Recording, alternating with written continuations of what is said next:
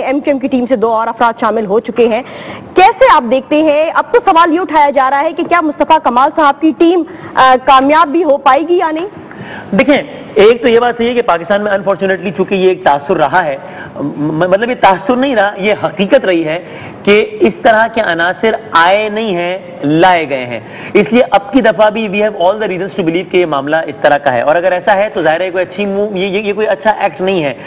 लेकिन अब और और देखें मेरा अपना ये ख्याल है I can't be more blunt जब तक अल्लाह ताला ने अल्ताफ हुसैन साहब की ज़िंदगी रखी है आई विल बी सरप्राइज़ अगर कराची में महाजिर एथनिसिटी में कोई उनसे ज़्यादा वोट ले पाए। उनकी तस्वीर बिकती है।